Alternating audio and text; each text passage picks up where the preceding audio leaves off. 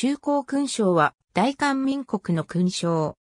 1961年7月25日に修好勲章令により創設され、1963年12月14日以降は、将軍法により規定されている。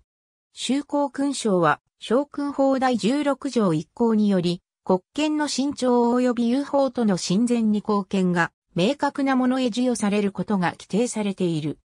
外交に関わる勲章であり、新たに認知へ赴任する韓国の外交官や政府施設などは外交儀礼の際に品位保持の観点から修好勲章を廃用することが同法第16条2項にて定められている。また、最上位の光化大賞は外国首相へ、それに次ぐ光化賞は外国大使へ贈られる。修好勲章は5等級6種類からなり、各等級の名称は、将軍法施行令、第11条により定められている。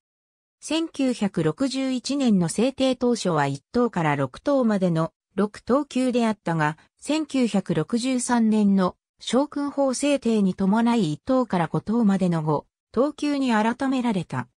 現行の等級名は1970年11月17日の将軍法施行令改正により定められ、1974年10月23日に最上位の光課題章が置かれた。また、以下の表では、格闘球欄に、将軍法第16条2項に基づき、修好勲章を廃用する、外交官の地位も記す。修好勲章の会には、将軍法第25条で規定される、修好法章が存在する。修好勲章の格闘級の意称は、将軍法施行令第13条により定められている。ショート、10からなる、マサーキ、エディショート略樹のセットが基本で、さらに上位3等級の光課大賞、光課賞及び、後人賞には、副賞が沿う。小色の衣装は、表面中央にあしらわれた対極の上下左右に、唐草文様とアメシストの玉4個を配し、そこからそれぞれ4両の金色光線と、丸太十字様の紅白光線が伸びた形状で、正明の章には、月桂冠とガチョウの羽一体を組み合わせた中がつく。